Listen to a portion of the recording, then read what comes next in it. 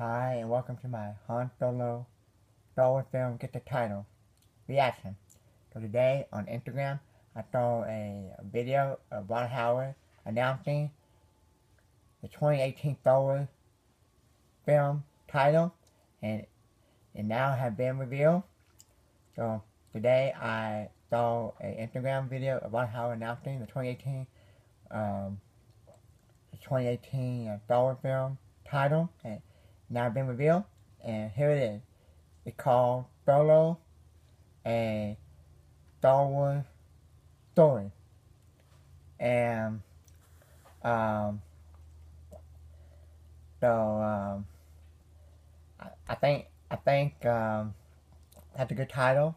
Cause, you know, it's about Han Solo, and Solo is his Latin name, and uh, um. I think that's a good title, but but but the main question is we don't uh, is the movie gonna be good or not? Is it gonna be good or bad? We don't know until we haven't seen the movie or not. And um, so I, I like the title, Solo. It's good, and uh, I will be seeing it. It's gonna be one of my pay to pay movie of next year.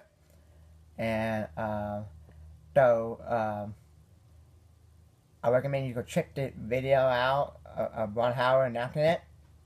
It's a good little video.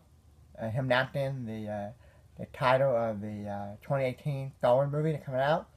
And I think it come out next year, like in May. I'm not sure. I think it come out like May 25th. I'm not sure, but I think it does. And thank you for watching my reaction to uh, reaction to the Han Solo Star Wars film get the title. And thank you for watching.